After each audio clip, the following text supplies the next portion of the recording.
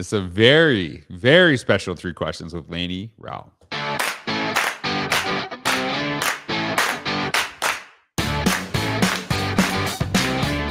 Okay, this is very special because this is actually we're doing we're going to do some different questions today because Lainey actually has a new book out and it is called Evolving with Gratitude.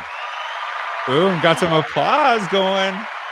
You. That is So, and I'm lucky enough to have published this with Impress. And uh, Lainie and I actually, what's really kind of cool is we actually kind of became friends on the podcast. hundred percent. Like this Right. is like very special to me. I'm like returning to where it all started. Right. That is, yeah, that actually, yeah, that is kind of weird because like that, that book wasn't even, it wasn't even like in the cards when we first met. And that wasn't that long ago, too. Right. It was like not even a year and a half ago. Yep, it's yeah, approaching a year and a half, but not quite. And if you Have our anniversary me- down? Is that what you're telling me? I, I have our friend's anniversary in my phone. I'll let I I'll love let you know when it's coming up. I Uh, but love it. when um when we had our first conversation where we became BFFs, and I know Mhm. that that Right.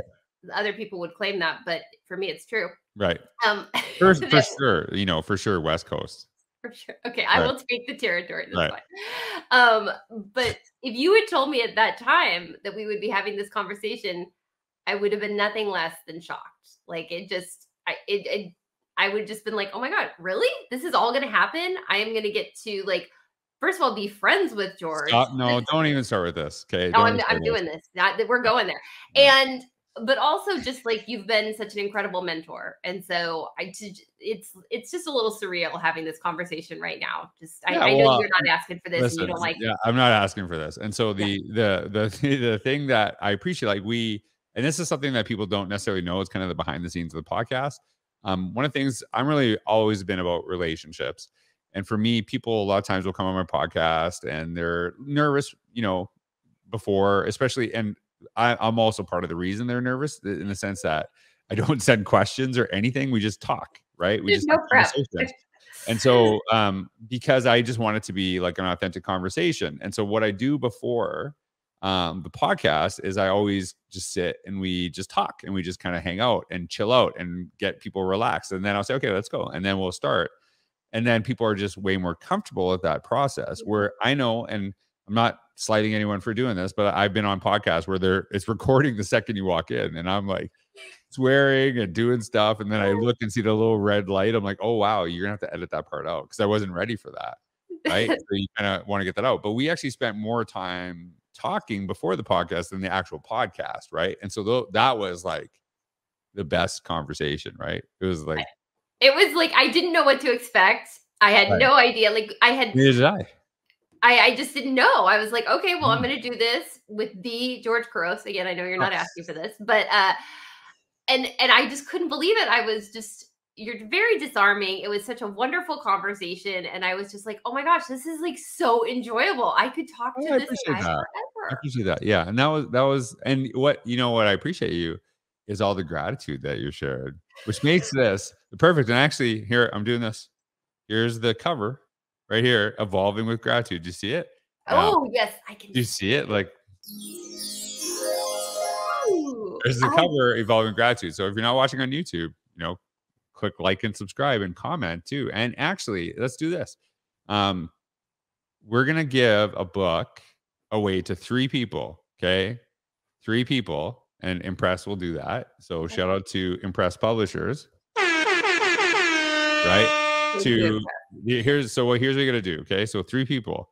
Yeah, Yes. you have to do this on YouTube. Anyone that's listening, if you write someone you are grateful for in education and why you're grateful for them in the comments, we will find those people and then we'll contact you and we'll send you a signed book. Can we do that, Lainie? Absolutely. absolutely. Okay, so there you go. So look, people are winning prizes already. We didn't even this. This is what we do. We don't even plan stuff. We just go. I love it. That's very generous. Thank you. I'm excited for this. Yes. So the special three questions because we've actually done the three questions before, and you actually were, wrote also because you're because of teacher, right? You were one of the the original authors of the first because of a teacher. Yeah. So what we're gonna do is we're gonna do three questions, but I'm not gonna do those three questions. We're gonna do a little bit different. And so, I'm um, so the first one, because the book is about gratitude. So like you, you better knock this one out of the park. This is a big one. Okay. So what like when you when you hear the term gratitude, like what does that even mean? I feel like a lot of pressure here, but and I will say that it is a ton of pressure, but I will say um you know, I I write books not because I have all the answers, but because I want answers. Mm-hmm. And so it was really so fun for me to take this deep dive on what is gratitude, why should we be practicing it, how is it going to impact um, our learning communities, and so what I what I kind of came to understand is it's like this recognizing and appreciating something in your life, mm-hmm. and then what my deep dive kind of revealed, and I looked at the science and the experts, and Dr. Robert Emmons talks about like, yes, it's that, but it's also acknowledging that the external and a lot of times it's people are kind of what bring that positive to us. So like something good mm-hmm. has happened and yes, sometimes it is ourselves, but a lot of times it's other people helping right. us in big or small ways. And so to me that was like the really interesting thing cuz learning is very social. Our learning communities are connected. It's all about relationships, right? Yep. And so that was really something I wanted to dive deeper into. And, and, I think, and this is this is we were kind of talking about this when the book was going on because I think a lot of times people hear like, "Oh, gratitude is like fluff stuff," right? And like, right. I'm just calling what it is, right? Sure, yeah. And one of the conversations that we said is like, "Hey, you have to show how this actually improves learning." it's not like just a it's just not just like oh i'm like really into gratitude and i think it's important it's like hey this is actually beneficial to, to kids learning i know that now this is not one of the questions but like can you give us an example of something that you found that was like hey this is actually this is why it's beneficial to learning in schools yeah so gosh there's a few things i'm going to try and articulate only do one because this is a teaser fine okay fine. you gotta um, you gotta get the book to get all the other parts a lot of pressure um I, I would even just say looking at the neuroscience of mm. when you're experiencing gratitude and that serotonin and dopamine that's released, like, and, and I know Shawn Achor talks about this, like mm. that actually floods the brain and turns on like all the learning centers. I hear what you're saying. People are going to think gratitude and they're going to think fluff, but I'm really trying right. to bring the science and the heart into this. I want I want people to know both. Like, yes, it's it's not all um, you know, and Mandy Froehlich, like she's gonna be on the Evolving with Gratitude podcast. And she's like, yes, yes, for Mandy. Mandy's a multiple time guest on the podcast here too. Of course, she's awesome. And you know, she said something to the effect of, you know, it's not like all you know rainbows and chasing bunnies in a field. Like it's mm. although that would be fun that would be fun. Mm-hmm. Um, but it's really much deeper than that. And so again, I write to to learn, and this was a really, really mm-hmm. just wonderful experience learning about how deep this actually goes. And you did a wonderful job of connecting that too. And I think I think that was something that we talked about that was really powerful. And I just appreciate how you brought other people in, which actually leads to the second question. And you have been, I appreciate all the kind words that you've said about me which is really really nice. So I'm like eliminating myself from this this answer because it's like oh so who is someone like you're really grateful for um you know just just in the past that has you know maybe helped you has been an influence on you um that's you know made an impact or you know just yep. it can be in and out or education who's someone you're grateful for I am going to choose, and this is hard because honestly, I I, I know you'll basically like, whoever you say is your favorite person. Oh, and well, I understand that. I know this is such a trap, but um, so let me just say that. Just say the first, say the okay. first person that comes to your mind, not okay. your favorite. Okay, we already first, know you said your favorite is you. Yes, right. So, okay. so we already know this is like second. So I want to share someone who um, there's a gratitude practice uh, called mental subtraction or counterfactual thinking where you can kind of think of a person or event and remove them from your life like what would your life be like and one mm-hmm. person that i think of is alan november mm-hmm. if i hadn't met him when i did if he hadn't given me so many opportunities if he hadn't had so much faith in me and if he hadn't seen in me what i did not see in myself what i don't think other people picked up on right away like if he hadn't given me those mm-hmm. opportunities mm-hmm I would be on a very different path. And I love what I do. And so I'm very, very grateful that he took that chance on me. He saw good things in me. Um, and he took every opportunity, just like you do. I know I'm not supposed to point to you, but to amplify and raise me up. And that was um, something that was just profound, truly profound. Alan November. Better be yeah. See, Alan November better tweet this out and out the podcast, right? Getting a little shout out. So yeah, and uh, that that is uh, I think one of the things that I've really been passionate about is sometimes like we're it's really important that you kind of you know lift yourself up because I know a lot of times it can be hard uh, to do that. But I think sometimes it just becomes easier when someone does it helps you see that in yourself, right? Like some of the people in my life that saw something in me when I had no idea, and then it made it come to the forefront is really really helpful and it's one of the reasons I, I, appreciate this. Now i have one more question for you but i'm actually just kind of going off script here now. Oh boy. And uh yeah and so you you wrote the book pretty quick right? You wrote the book pretty and it's not and i i think a lot of times when people um see that it's like oh you were like rushed or hurried or anything like that but i felt that you wrote it because you were just kind of like super passionate about it right? And like and I know I, I, write books when I've written books in the past, I write them very quick because I cannot function for any amount of time uh, while writing because all I think about is the book.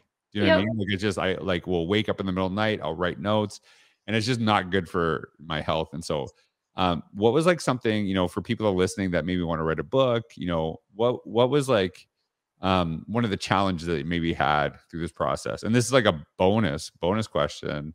Let's see. Uh, but I'm like, I don't know. What's uh, on the, what's on the board? This is like oh bonus. This is like epic podcast. I love that. I love that. So you don't just get the regular questions, you get bonus, which I love that. I'm gonna get like a copyright strike from like Beethoven. So okay, so that's amazing. Okay, so challenge.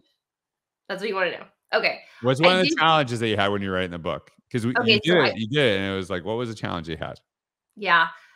So I think there is so much amount of time you have to to dedicate to writing a book, mm-hmm. but mm. and, and it did it took years to write Evolving Learner with Christy Andre and Lauren Steinman um, it was a, it was a much more stretched out process, which mm-hmm. you know has has its own challenges. I think because you wanted to release it right in March of 2020.